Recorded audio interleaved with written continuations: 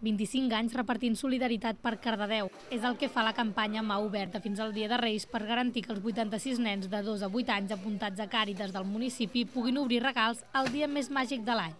És fer una acció solidària que sigui visible pel poble i que sigui present de Cardedeu. Aquest és el fons, és el mateix. L'únic que abans fèiem una recollida de paper, cartró i vidre, l'únic que ara doncs, es veu que estem fent una altra cosa, que són la recollida de joguines. Hem agafat una bossa i hem posat regals per al nen, el que volia, el nen ha escrit.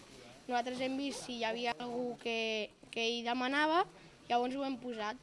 Per exemple, un puzzle, doncs posem un puzzle. Les famílies poden triar entre recollir personalment els regals de Càritas o deixar que siguin els joves de la parròquia qui, disfressats de Reis Mags i acompanyats de la comitiva reial, vagin casa per casa. El, aquests dies és la cosa més, més bonica perquè hi ha un moment que veus el somriure d'aquests nens que estan tan contents de veure els Reis.